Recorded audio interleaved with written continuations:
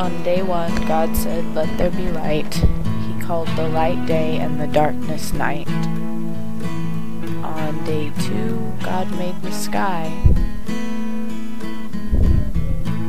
On day three, God separated the land from the water and created flowers, trees,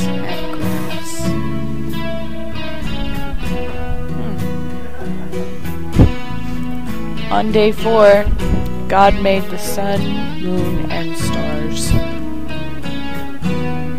On day five, the birds and fish were created. On day six, God made animals. Then he made people. He named the man Adam, and Adam's wife And on day seven, God rested and saw everything he made.